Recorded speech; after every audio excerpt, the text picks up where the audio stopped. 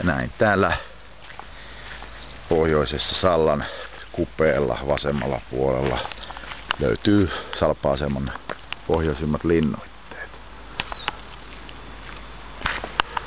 Salpalinja, Joutsijärvi. Jaha, JR40 sotilaita ollut täällä.